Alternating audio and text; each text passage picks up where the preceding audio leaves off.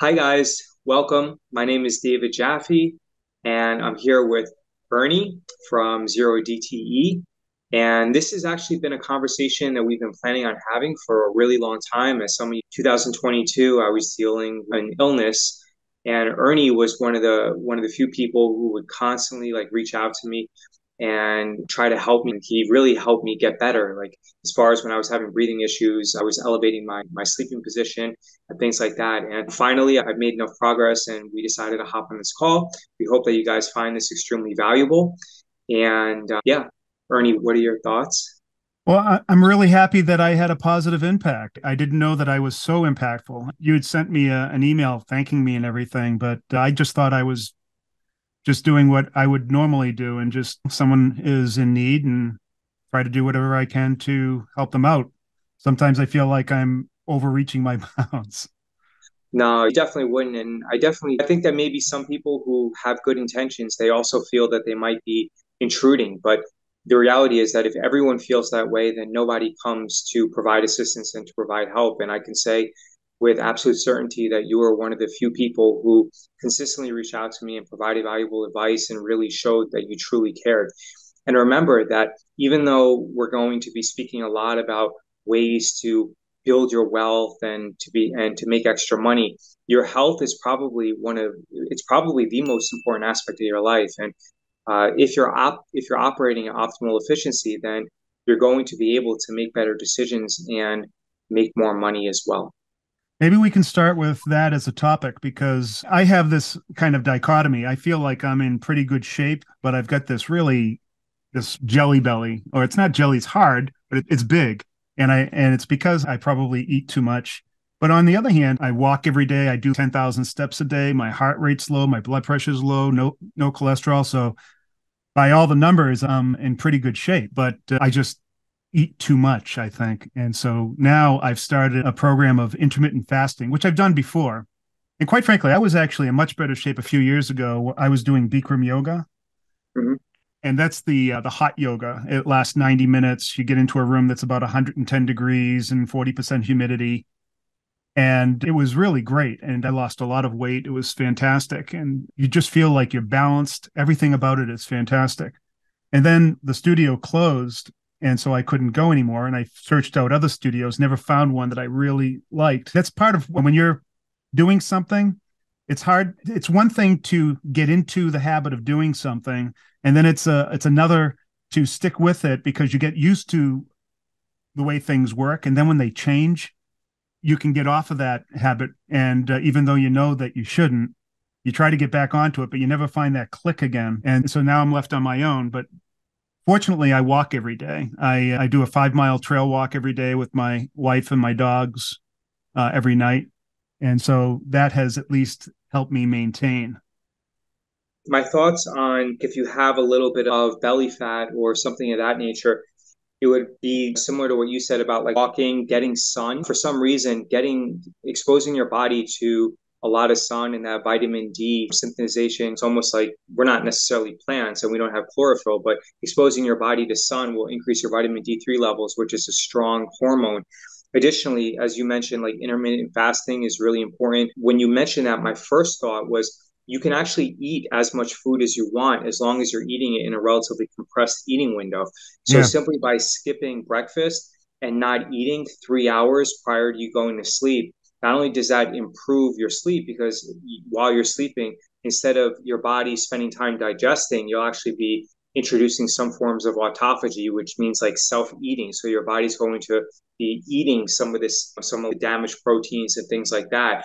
But really i think the most important thing would be a compressed eating window. And probably similar to what you were saying about the bikram yoga you can do like an infrared sauna, which I have a video on my channel where you can build like a really cheap sauna and put it in your garage or your bathroom for three hundred dollars. You don't have to spend like the four or five thousand dollars on one, one of those like the infra like the other saunas from like Sauna Space, etc. You can literally make one for three hundred dollars. And I think probably I know it's pretty common for people to say, "Oh, it's like your sugar consumption and high fructose corn syrup." But I actually think that one of the bigger things that you could do is reduce your intake of vegetable oils because what happens is your omega 6 if you eat a lot of vegetable oils then that increases your omega 6 intake and it's really hard to get rid of that stuff because it actually makes up your cell membranes and it'll take your body like anywhere from three to five to seven years. I've heard like different varying amounts of how long it takes your body to recycle and to get rid of that those omega sixes. I think probably if I had to rank them, it would be like compressed eating window, probably the most important. Reduce your vegetable oils would be second. The infrared sauna would be third because the infrared, your body will actually like increase your production of vitamin D3 and melatonin because the infrared is similar light spectrum to what you're going to get is from the sun.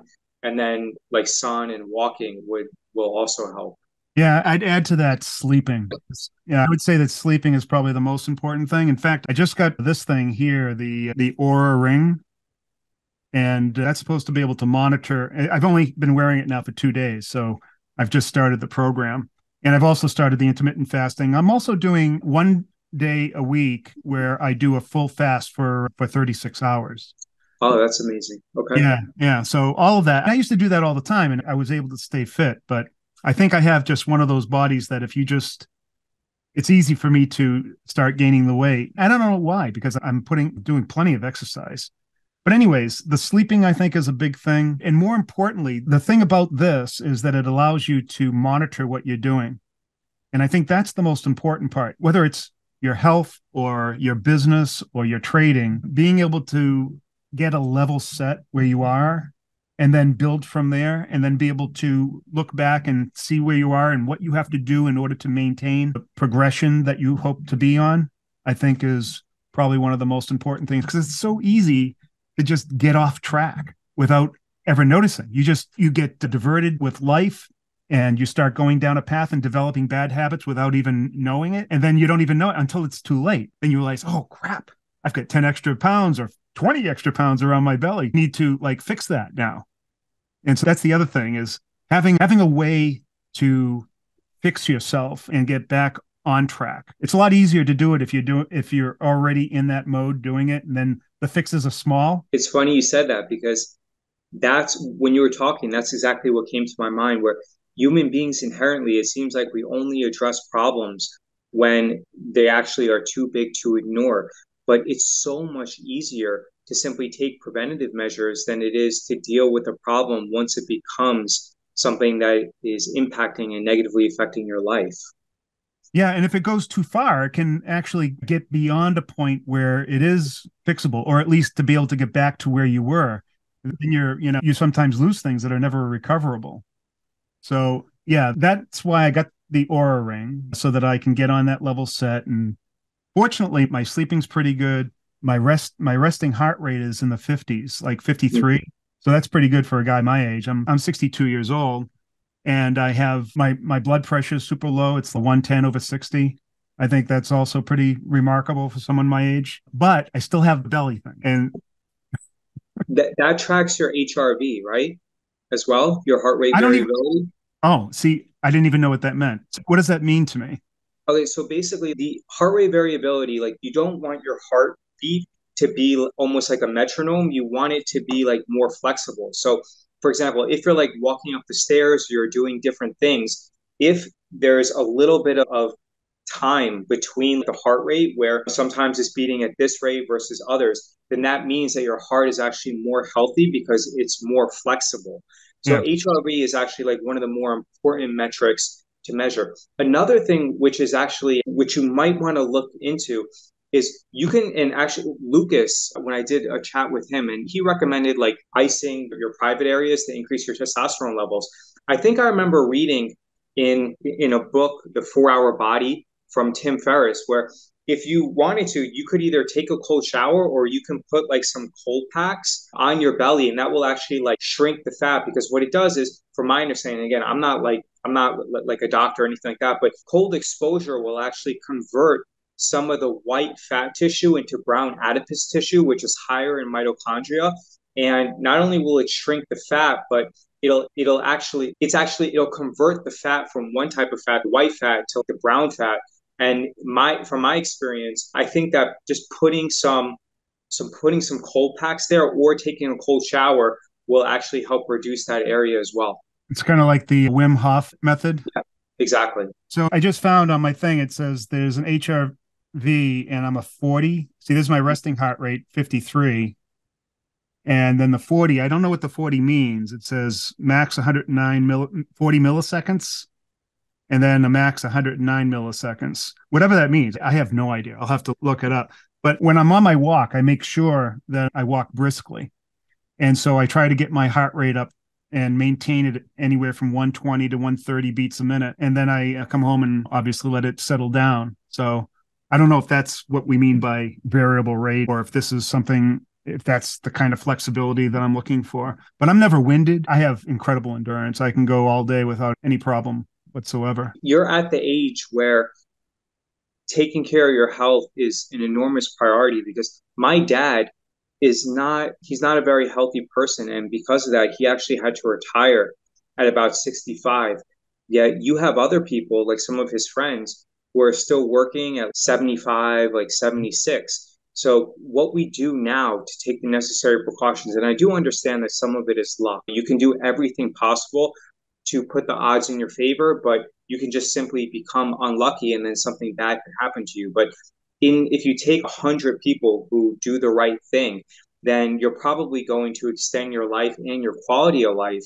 and your ability to work and be productive by good like five or ten years and in my opinion i definitely think that's worthwhile yeah the measurement like i said i think is key doing the measurement being consistent with it and the consistency is a little bit different you should be doing that level set thing every day but then also every once in a while introduce some stress to yourself yeah, so, yeah, they call it like hormesis, where a little bit of stress actually makes you stronger. It's like stronger by stress. Anti fragility. Yeah.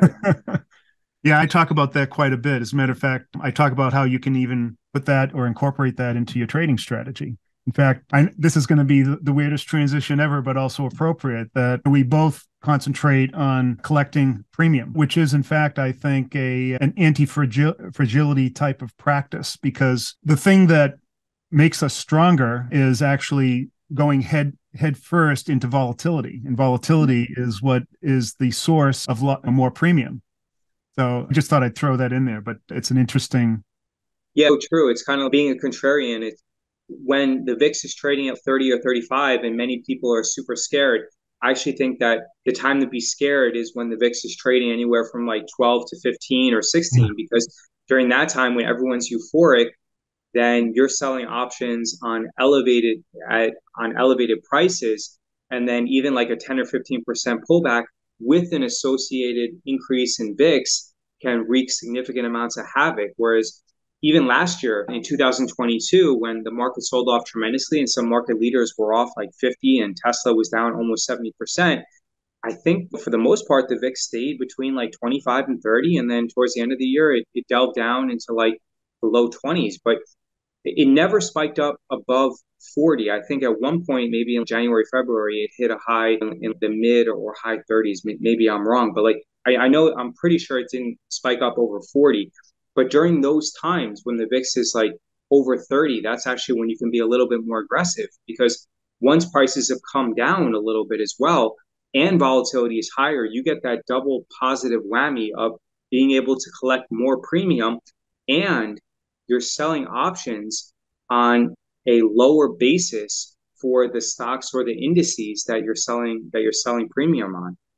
So one one thing that I found over the years, now I've been in the industry for a long time, and I've been a hedge fund manager, an institutional trader, and all, my the first part of my career was uh, as an IT specialist. I was a former chief architect for Sun Microsystems, and uh, I actually worked on Wall Street and they were my main customers. But uh, the one thing I wanted to say about volatility that I found was that it's all relative. You can look at VIX at 40 or 30 or 20 or 15 or whatever, but there's always some level of noise that is behind or under underneath where, wherever that VIX level is.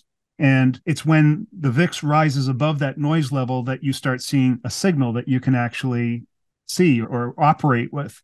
So you can actually have lower levels of volatility, but as long as it you can detect the signal that comes above that, it's just that it's when it's lower, it's much more difficult to see that because the noise is like a constant low level of noise activity that happens in the market.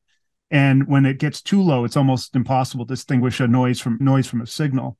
But I think it's the relative change that is that is most important, and that's what you're trying to detect. Would you agree with that? I do. I also think, and hopefully I'm able to communicate this well, I think that the absolute VIX level at, let's say, 18 or 17 or 16 is important, but it's also important to know like where it came from. So in 2022, where the market fell like 20% and many leading stocks fell significantly more, having the VIX come down from like 30 to 18 to me bodes well for where the market is going to be in 2023. Whereas if the market had basically, if 2022 had been an amazing year where the market was up like 20, 30% or 20%, whatever, and volatility had been relatively consistent, staying at around 15 to 18 for a long period of time, at that time, I would actually be more concerned that we're going to experience a greater pullback in the near future. But now, considering that volatility was recently a few months ago was trading in the mid 20s, like even high 20s, and now it's trading close to around 20. And even I think last week it traded around like 17 before before spiking up a little bit. I think that indicates that at least like right now, based upon the available information that we have, that 2023 is probably going to be a relatively stable year. I don't know. I maybe, but I, I, wanted to touch a little bit on, our rel- our different trading strategies. Yours is definitely longer term than mine. You're selling puts, and you're probably looking out what two weeks, three weeks, four weeks, something like that for most of your positions. So yeah. the volatility Sometimes, in that. I'm sorry. Go ahead. Sometimes, if I'm trading indices, and there aren't that many opportunities in the individual stocks on my watch list, I'll sometimes go out like even three to five days on like the Qs or SPX or SPY and then make a relatively quick trade. Because in that situation, especially now, I actually, for example, if Qs are, I'll sell like the 275 or 280s on the Qs with a short duration. Because even if, let's say, next week is horrible, I could easily roll that position down like five or 10%. And then it'll get to a point where I actually don't even mind taking ownership of that specific stock and then participate in the upside. Or what I could do to protect the downside risk, I would do something where I'll buy an at the money put and then sell an in the money put if I believe that something is oversold and therefore I actually don't have any downside risk and then it'll allow me to participate in the upside by selling that in the money put while also collecting a small amount of extrinsic premium by the in the money put. So what I was trying to figure out, and that you so you've explained it. How do you guard against those that variability of vol- volatility in that life cycle of the option?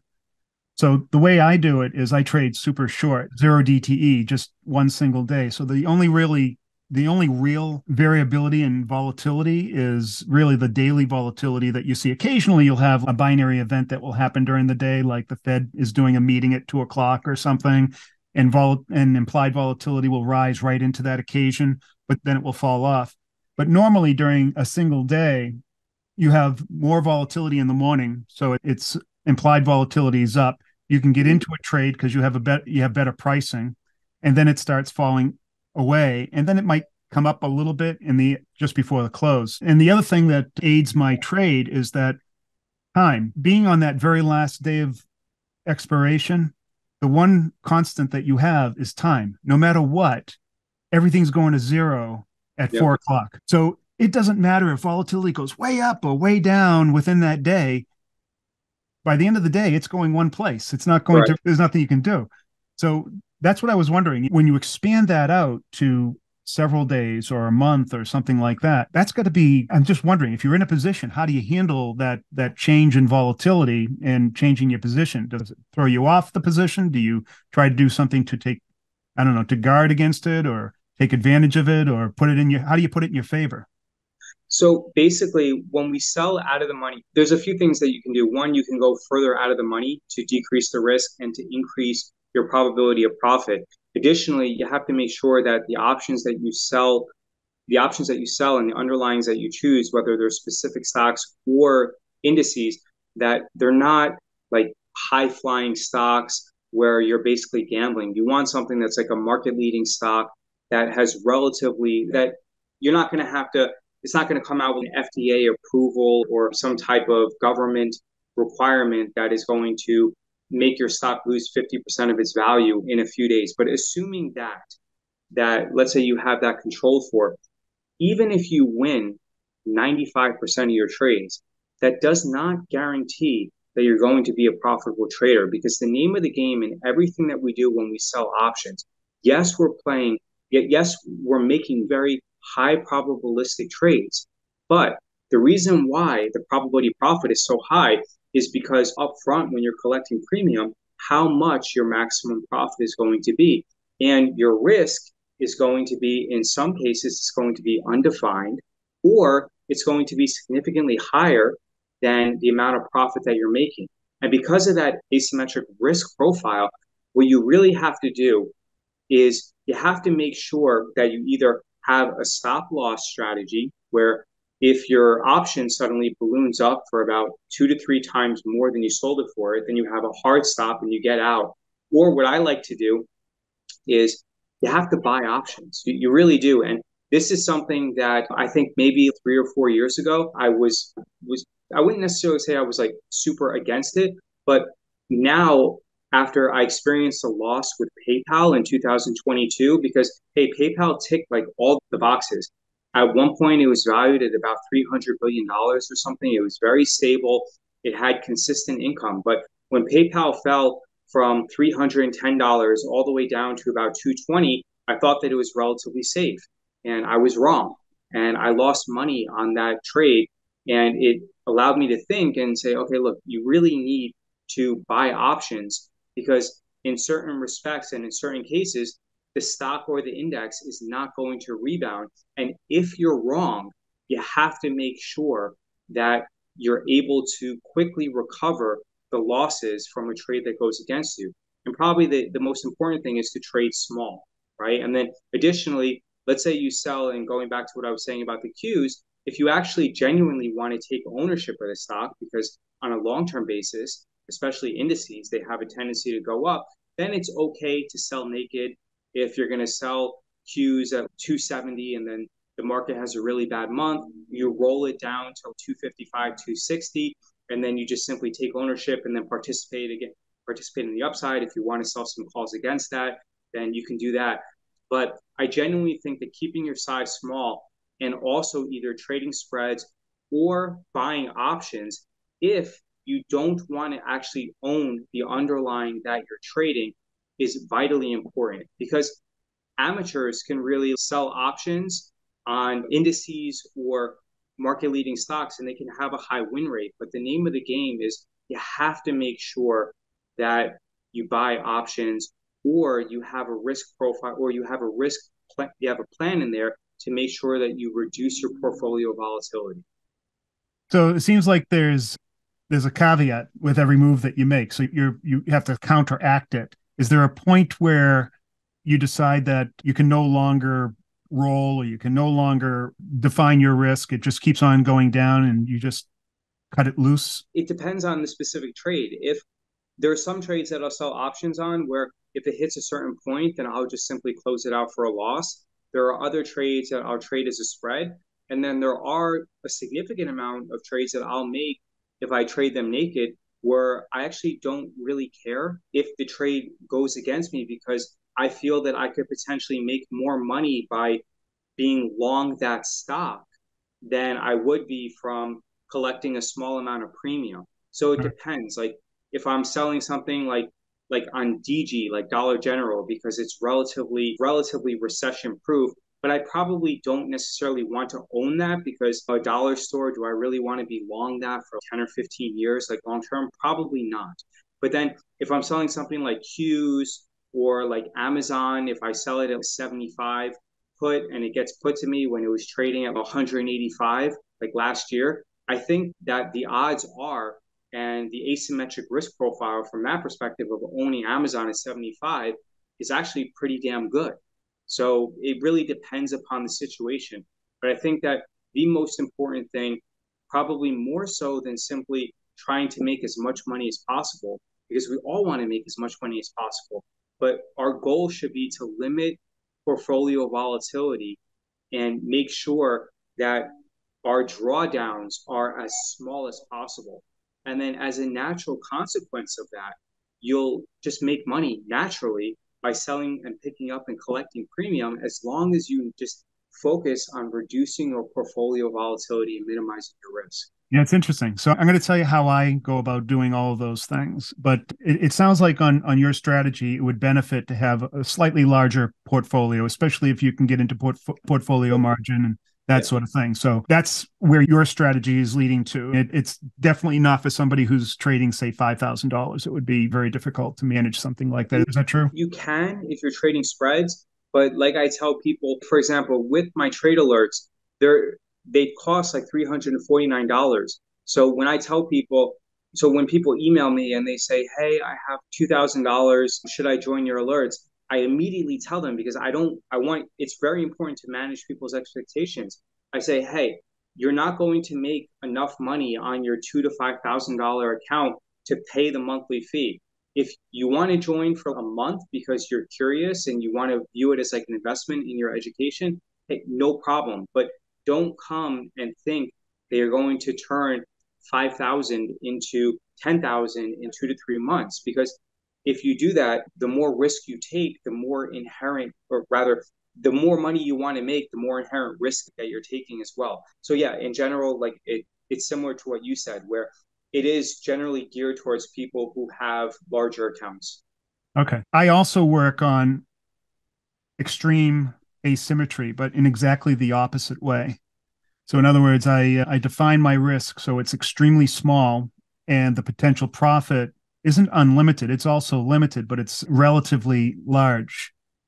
And so the way we do that is by using a particular strategy, and that is the butterfly, the out of the money butterfly. So we push the the uh, the butterfly out of the money so that our risk is approximately one to nine. So it's a one part risk to nine parts reward, and it's an easy trade to put on. You've probably seen this in professional circles. They used to call it the uh, the ten percent debit rule, and essentially you make your debit one tenth of the the spread on the butterfly. And by doing that, you're you're creating a kind of return distribution that is right skewed and uh, long tails. And for those who don't know what I'm saying, it means that you take a lot of very small losses and a fair amount of small wins that tend to offset those losses. But then you're looking for those occasional mid-size and big wins.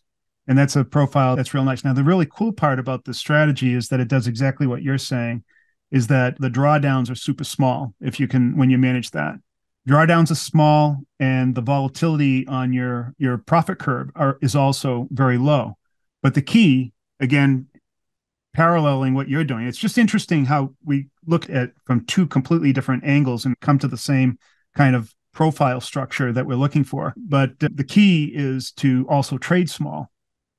So as an example and this is in no way representative of what everybody can do right but I think that if, if someone followed the strategy that they could achieve this, I never trade more than max, depends on my account size. Let's say my larger six figure account, I never trade more than, say, three quarters of a percent in any one position, usually half a percent or even quarter of a percent for a position. And so a lot of people might think, yeah, what do you do with all the rest of the money? But it's the same thing even in a smaller account like a 25,000 or even a 10 or even a $5,000 account you might trade just 1% of your position. But by keeping your position size super small, you're limiting your downside. You're keeping your um, your drawdowns to sub 10%. Actually, I've never gone more than 5%. In fact, my past year, I've never gone above three and a quarter percent drawdown. And while maintaining a good return on your risk. So on average, I think I'm doing my average winners are two, a little more than two times the size of the with super low volatility in our. So it's a very comfortable way to trade.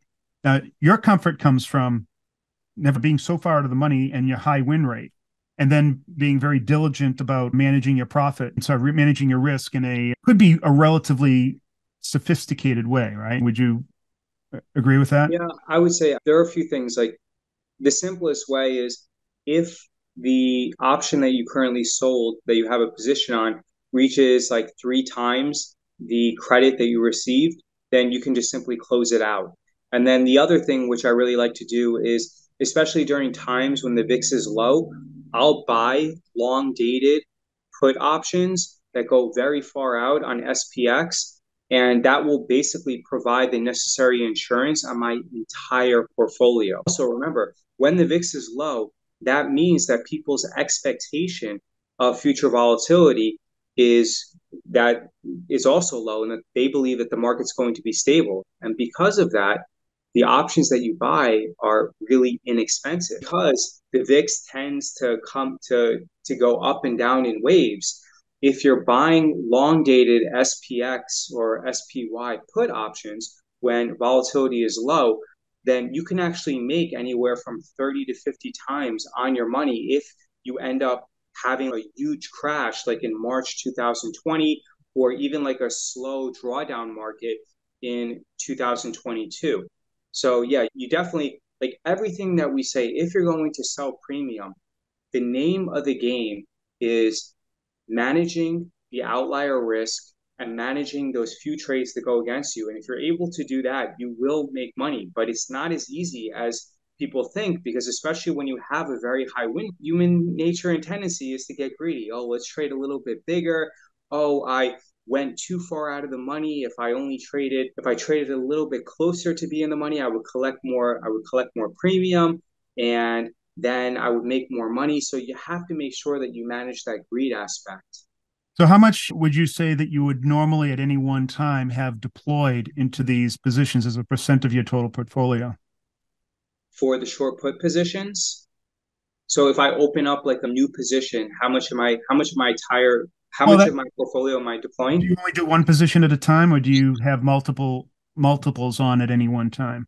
I usually I have multiple positions on, and usually it'll be anywhere from I say on average about three, three to five percent or so. Oh, now so it, it's it's really small. It's a little bit tricky though because when using portfolio margin and when you go farther out of the money, portfolio margin it doesn't count the buying power requirements similar to to regulation T. So if that position ended up getting challenged, then that three percent might balloon up to I would say probably a max of ten percent. But also remember that when you're have when you have that position covered, when you have the long puts on to provide you with insurance, then actually it's not going to increase your risks because as the market comes down, then your total equity is either staying the same or is actually increasing based upon the hedge that you have in place.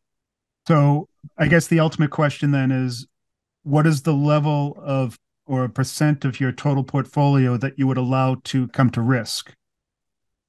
Oh, that's a good question. With the hedges in place, I would say it's pretty low, probably about 3%. Okay. Yeah. So that's that's on par with what I'm doing, but it, I'm a little bit less than that, under 1%, because we never really take more than one position at a time it, because it's it's hard to manage anything more than that in a single day. But so what do you do with the rest of the money? Leave it in there. I mean, it, in the cash sweep, it gets about like 4%, and then I deploy it. Yeah, remember, I have numerous positions on. So for example, I will have generally about five or six positions on, and I'll be using about 40% of my total account size when I'm fully invested. Now, when the VIX is really low, and when I believe that prices are high, because let's say we go up on like a euphoric run like we did in January and mid February of 2020, then in that situation, I actually trade significantly less. And that's actually the time that would be like the perfect time to buy options because everyone is so euphoric that your long dated put options that you can use as a hedge mm. are going to be incredibly inexpensive. And then obviously it's not always going to work out as well as March 2020, where those options are going to spike up. But I think in general, trading anywhere for and using a maximum of like probably 60% of your account, even if you're trading on using vertical credit spreads, then I think that that's like a safe way to trade because when you're trading spreads, you are managing that outlier risk. So you can be a little bit more aggressive. And usually I don't necessarily trade like traditional spreads where I'm not, it's pretty rare for me to put on a trade as a spread. Instead, what I usually do, will I'll have portfolio insurance by buying those long dated put options, and then I will sell naked positions against it on a shorter dated basis. Yeah, I'm a bit more conservative than that. I'm trading, never really putting much more than a percent at risk. And then the rest of the money, I'm actually rotating in and out of short term government securities. Just are you trading every day? Yeah. And are you trading individual stocks or primarily indices? No, the only thing that we I trade and the people in my group is the is options on derivatives of the S and P. And trading options on the SPX or the E-mini futures or even the uh, micro SPX, which is the XSP. But that's it. So SPX is worthwhile, especially if you use portfolio margin, because then it's 1256, like cash yep. settled. So therefore it's 60 40. So you get that tax advantage benefit. Right. And uh, yeah, so that. Futures too. And the, yeah, exactly. And the ES as well. So yeah, that's beneficial. And then, so your trade, even if there's like an FOMC announcement, like it doesn't really, it doesn't. Yeah, it doesn't matter. Yeah, actually, that's usually better. It's yeah, interesting. It's interesting because I'm going to ask you some questions about how you actually size your your trade or how you decide where to put it and that sort of thing. We don't really use any kind of technical analysis or worry about sizing. The uh, the market volatility does all of that for us and actually tells us where to put the trade simply by putting on a one to nine risk to reward. So a lot of people will ask, "What's the delta that you uh, trade to?" or "How many strikes out do you go?" And I say, "I have no idea. I just make it one to nine. That's it." And then it just puts it where I want. Now, I have two different strategies that I use that it's interesting because uh, back in 2021, we had a very different market from what we have today. And this is something else I want to ask you about because these different market types. 2021, we had extremely accommodative monetary policy. The market was just going up, volatility super low, going in one direction.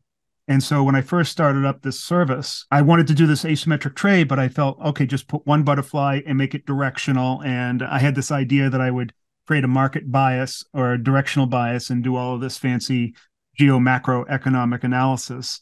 And uh, so I thought it was brilliant. I choose mostly going long, and I would hit there, and I would have this incredible win rate of anywhere from 75 to 95%. And it was unbelievable. I would hit all these trades, I would pin trades on a regular basis. And I, once 2022 came around and the market went the other way, everything changed and I started to get brazen. And instead of taking the kind of risk that I was taking, I decided to take more risk and it bit me.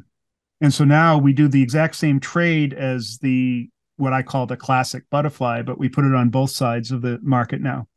So we open up every day, same thing, one to nine, but one above the market, one below the market, and then just manage those. My original trade, we never, I never even managed the the risk. I just let it. If it went the other way, I just let it go to 100% loss. So in terms of you're delta neutral when you're putting on the trades. I, you could say, um, yeah, when I put on the trade, you're delta neutral because you're trying to put them on at approximately the same time and with the same risk to reward. And you're, you're what you're hoping for is at least some movement either towards one fly or the other. And if it mm-hmm. doesn't, about 35% of the time, it hangs out right in the middle of those two. And instead of going 100% risk on those duels we just go to a 50% risk. And that's like a hard stop. It goes over 50%, you just get out. The rest of the time, then you manage your profits when it when it reaches one of the flies or the others.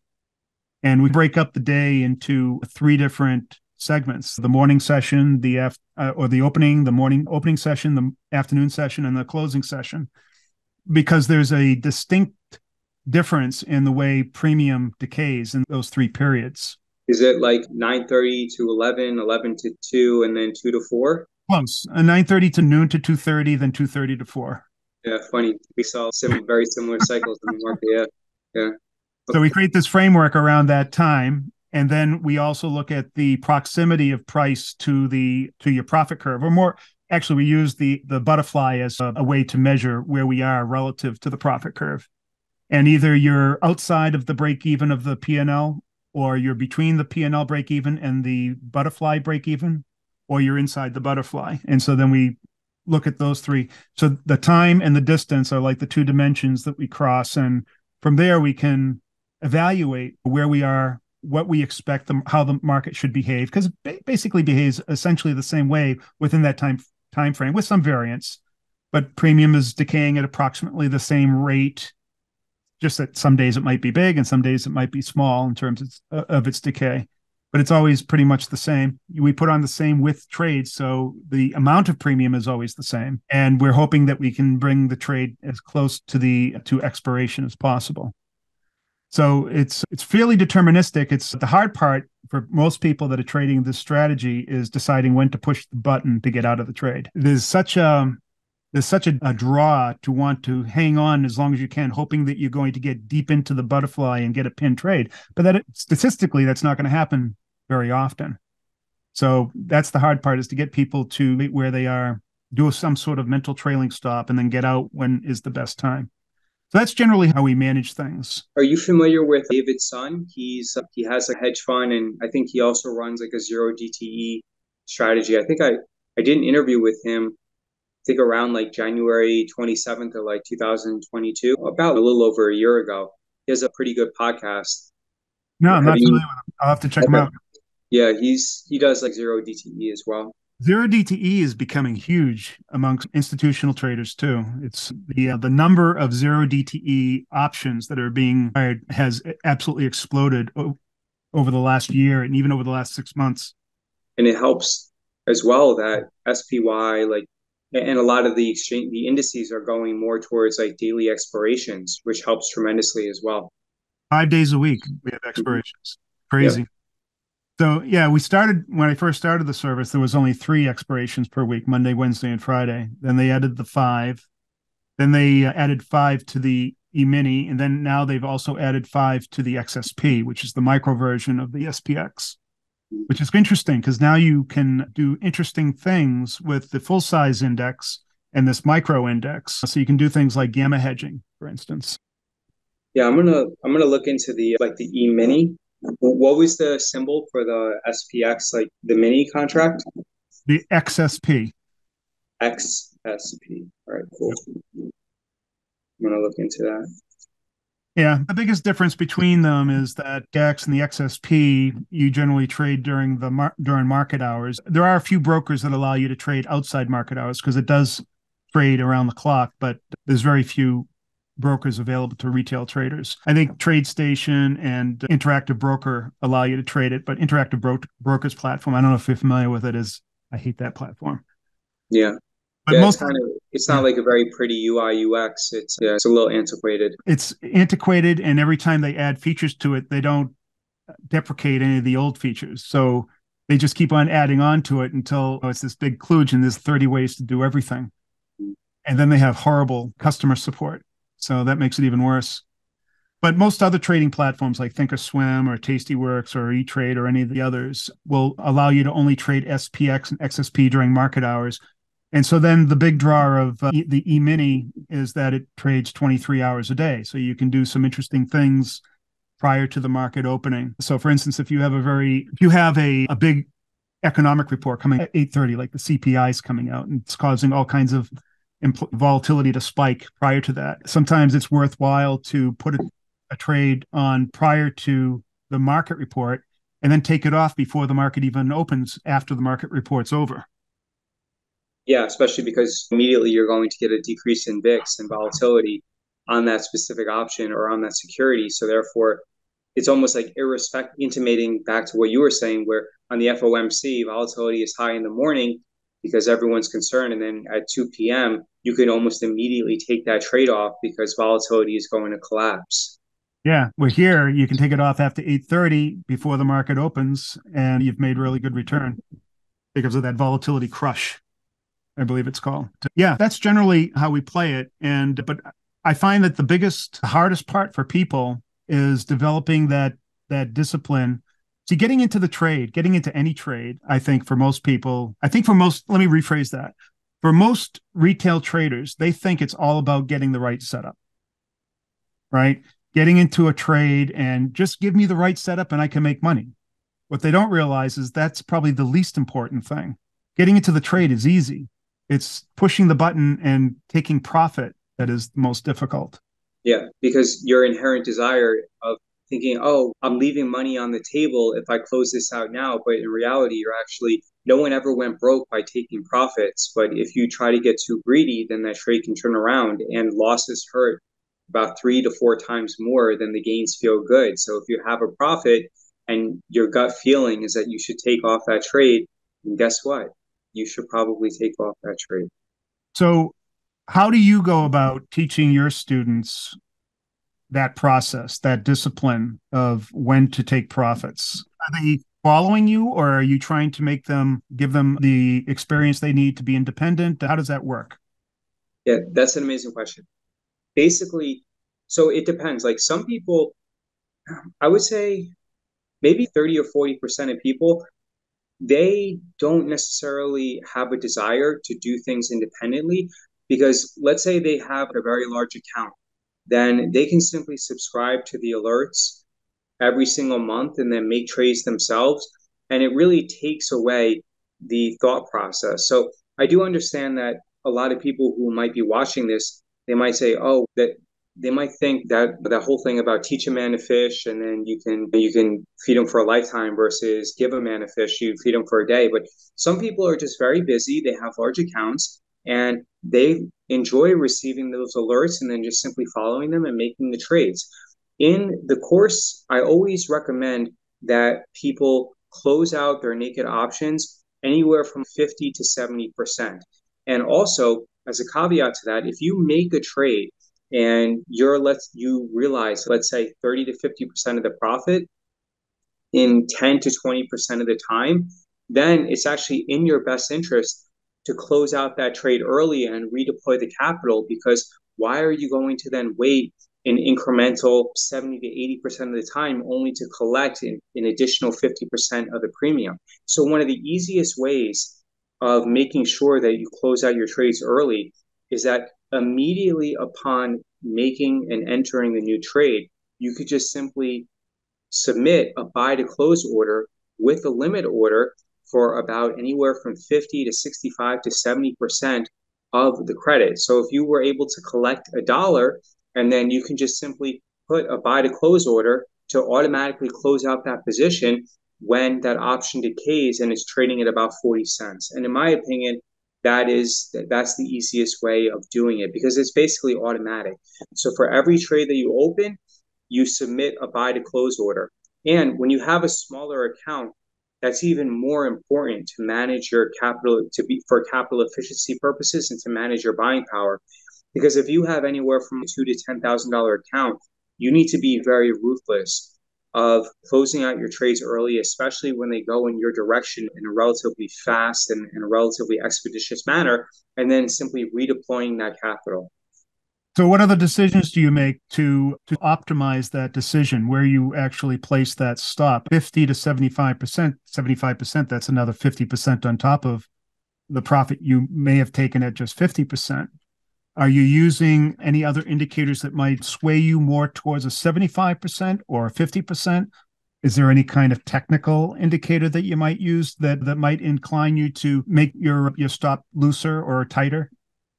Yeah, I think if I'm pretty confident in the trade, then I will try to go more towards, let's say, for example, to leave it like a little bit less like black and white and based upon like feeling and something. Let's say VIX is trading over like 20 or even over 25, then inherently you're going to feel better about the trades that you're making because they're actually less risky. Because in order for the VIX to increase to that level, then that means that the market had to pull back a little bit and therefore it was previously trading at a higher level. And also you're collecting relatively substantially more premium. So in that case, when volatility is higher, then you can also potentially be a little bit more aggressive. And especially if you believe that a specific stock, like let's say Microsoft or like an index like a QQQ is oversold and you feel more confident in your entry, then in that situation, you can open up a trade and then you can immediately place a buy to close order to close it out at about 35 or 40% of the premium that you actually received.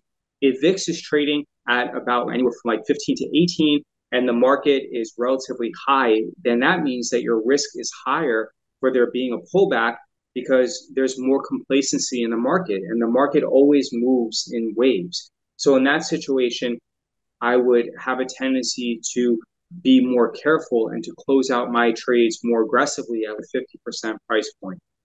Is there a, a, situation where you would let it go to expiration? There are generally, if I'm trading, let's say, for example, especially because I'm using portfolio margin, if I trade something that has a relatively short like expiration, like three to five days, and on the X or Qs, and it's so far out of the money and it's not really using up any buying power, and also I don't need the buying power, then in that case I would I would just let it expire.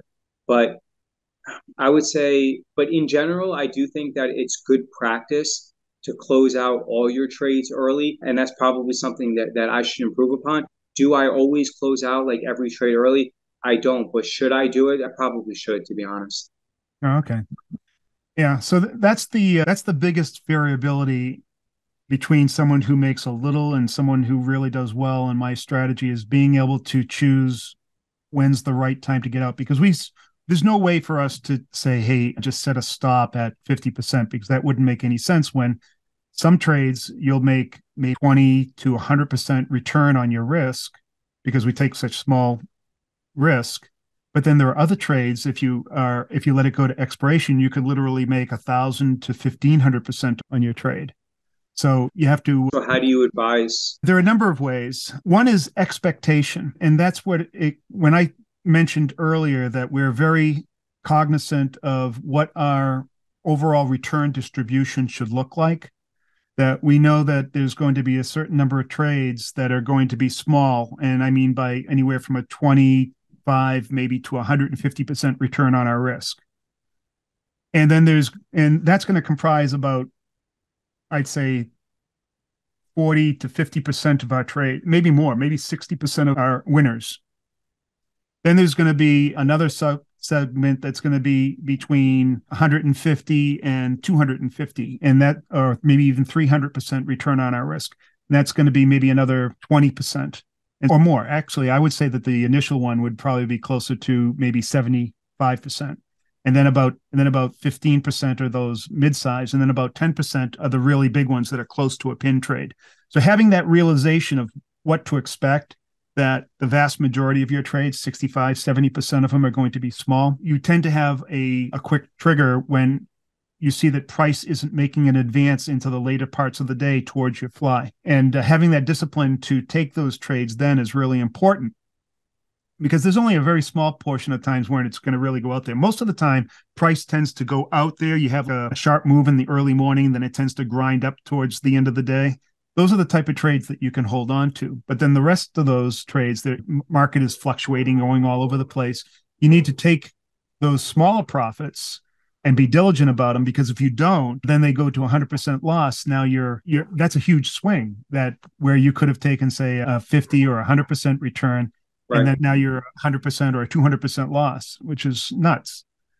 So it really comes down to the expectation. That's one part, and un- understanding what what to what percentage are going to get in there and whatever. And then there are some, I guess you could say, there's some price action things that you could look at, but primarily what we look at is volume profile. Mm-hmm. And the volume profile, I don't know if you've looked at volume profile at all before. I've looked at it, but I'm not an expert at it, and I don't look at it consistently. So I've been now volume profile from a from an institutional trader's point of view, volume is everything, liquidity is everything. Can I take my block of trades and can I push them into that level or not? That's pretty much what how an institutional trader thinks.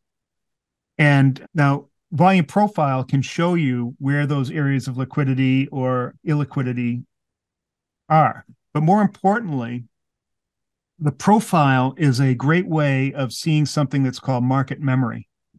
I don't know if you've heard of this concept, but it was a concept that I think that was originally brought up by Benoit Mandelbrot, the guy who brought us like fractal geometry and Mandelbrot sets, that sort of thing. And a lot of his theories are actually used in modern day hedge funds. But anyways, he had this I- idea of market memory, and that is it's not just market memory, but the idea extends to all systems, whether they're natural or human made. That when impactful events happen in the past, they tend to leave some sort of indelible impression upon the system. Yeah. And that, that that impression carries through right to the present day. And it will influence price. The volume profile, what it shows is like the striations of that those impressions. And so you can mark up the volume profile and create what I call a market structure and then see the, the memory of the market and then use that in the present day as definitive support and resistance zones, as well as liquidity and illiquid illiquidity zones, and then to make some value judgments on how you think price is likely to move, and then make decisions based on that. I think what you said is so important because not only are we as like children in indelible, like so impressionable as children, and that actually impacts how we behave as adults. But also remember that during March of 2020, the world had never seen a situation like that happen before. And I think VIX spiked all the way up to 84. And then, if you'll remember, even now, like when the market is relative, I wouldn't say it's like relatively stable now, but I think that March 2020 left an impression on the market where volatility at 15, if it fall if it falls back to 15, is relatively comparable to having the VIX and volatility trade at 12 previously. Because I don't think the market factored in this type of pandemic situation previously. But because we now experience that, I think that a case can be made that based upon the market memory and the market profile, that we're going to, at least for the short term future, be constantly in elevated VIX levels where a VIX at 15 is the old VIX at 12. What's really interesting, it's even more impactful than you think. I agree 100% that those type of levels they they stay with us for a long time. But even the most minute variances that happen over a long period of time in the profile, you'll see for instance, the profile basically looks like a bunch of nodes of concentrated volume and then absence of nodes where there's little volume. Now, a lot of people in volume profile study it from a session point of view. They think that they have to look at each session and then look at the shape of the session and be able to tell where support and resistance are. But that's not where support and resistance lie. And that's not where liquid and illiquid zones lie. They lie in the, the very long term. So we look at two, three years of data and the profile from that area. And then the the transition from small or low volume to high volume is one area that is very impactful. The other area of impact are the low levels of volume that that just seem to disappear into nothing. For this there'll be for instance like 50 53 32 that level. I'm not, i'm just making up something which doesn't even exist yet. We'll have like really low volume. And for whatever reason when price goes up there it finds either resistance or support at that volume. Why? I have no idea. Why does nobody decide to trade that level for years right? Hmm but that's what happens. And so you can find these areas on the profile and then basically just draw lines. And then that more or less illustrates where these indents, I guess you could call it in the market. And you would think that over time, that uh, that they would disappear but it takes a really long time years maybe even decades for for pricing in levels to to lose their impact so they are actually more impactful than some of the more traditional things that people look at like high and low levels or market opens or closes or from just or trend lines that they draw that are just looking at pricing that only goes back maybe 30 or 40 days. Think of it this way. When you if you get a scar or if you get a cut right and it produces a scar in seven years your skin and all the cells around that place where you got the cut will completely change. And so in seven years' time, not a single cell will be the same where that cut was, yet the scar remains. That's like what the market is. You have yeah. this change that goes over and over, but those scars, they remain in the market to this day, to the present day. And it's one of the few things that I think, and man, I'll show it to you sometime. It's uh, just incredible. I draw these lines from data that happened or price action that happened two or three years ago. And then you look at those same lines in a five minute chart and prices bouncing off of them like like they were made yesterday. So there is this thing called that is known as market memory. There's been academic papers written on it and it's really incredible. And what amazes me is that so few people actually use it or know about it. But it's been written about decades ago by some of the most famous mathematicians ever. And and everyone ignores it. They all make up it's almost i feel today's technical analysis and some other methods that are being used in the market, like Fibonacci and Elliott wave and whatever else that you want to put out there. It's like people are looking for a way to describe something that's that they can't describe. So they come up with these very elaborate explanations on how and why they should work, but they yeah, don't. Yeah. That's like human behavior. They always want to affix an explanation to something and they try to see patterns that might not necessarily yeah, fill the hole just fill the hole with something that that, that you can convince people that that's the reason you can fill the hole. And I, I, just find it I just find it interesting that we're always searching for things that aren't there. And we're willing to believe things, but when things are right in front of your face, it's like you can completely ignore them. Anyways, I don't know where that conversation's going, but I, oh, I know what it was. I was trying to explain what how we the market memory. Yeah, the market memory and how we decide to whether or not to stay in a position or in, or not. And that market memory of those areas that we draw up is one way that we look at whether or not we think that there's like a hard wall there or there's going to be at least some level or uh, probability that price will maintain that level. And if it doesn't, then we know that if it enters a an illiquid zone, it's likely to move fast. And this kind of explains the way markets react too. If you look at the volume profile, the areas where you have the big nodes, those are areas of consolidation where the market has found value and it just tends to hang out there and move back and forth. That's why it creates the big node. And then the areas where there's hardly any volume, those are the areas where the market tends to trend because for whatever reason, the market's looking for value, can't find it there. So it's looking for the next area of liquidity.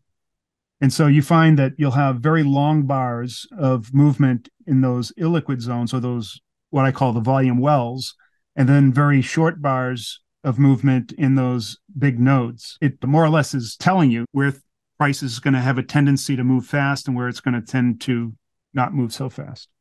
And actually, going back to something that you said a few minutes ago, I think it, it's really imperative to ascertain and really take a measure of the overall price action because I know that, like in 2022, there were numerous days where it seemed like the market wanted to rebound, but then almost like clockwork at around 2 p.m. Eastern, two hours prior to the market closing, the market would just fall off a cliff.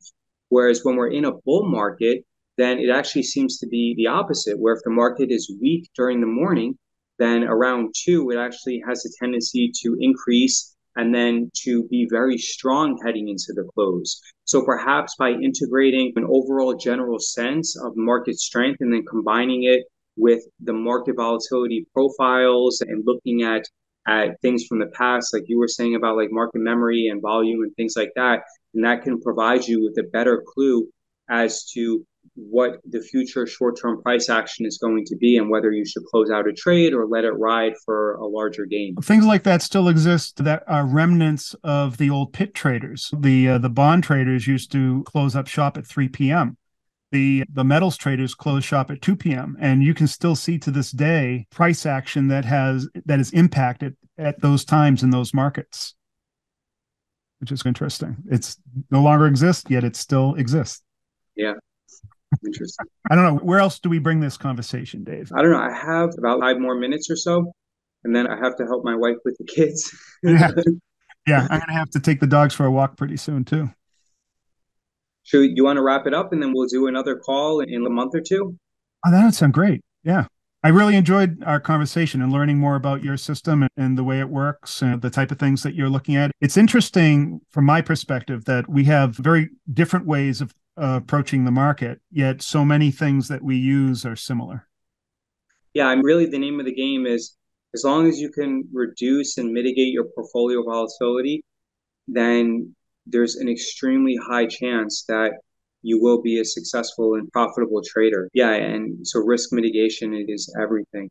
And I'm glad that we were able to get on the call. I just I genuinely enjoy speaking with you and I value you tremendously and I, I just words really can't even express because I was struggling so much last year. Uh, I was in such a dark place. My wife receiving text messages uh, on WhatsApp at two, three o'clock in the morning. It's just so much negativity. But I'm glad you're feeling better now too. That's great. Alrighty, so we'll wrap this up and then we'll do another call in a month or two.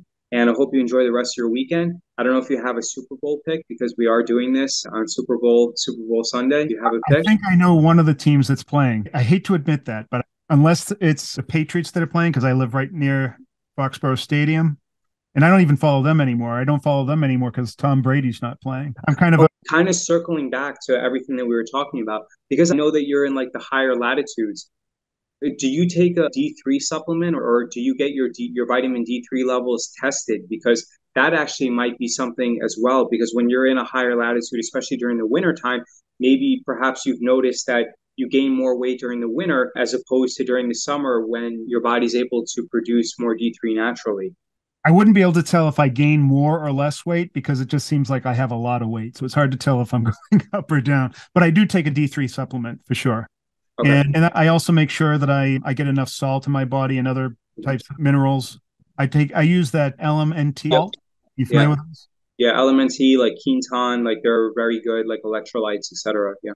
Yeah, that makes me feel good. Cool, man. All right, guys, thank you so much. We'll post both of this on our channels, and we're definitely going to do this again. I, I love just chatting with with with very experienced traders who are very helpful and who are incredible. Yeah, so we'll do this again for sure. Thanks, David. Feeling is mutual. Take care. All right, take care.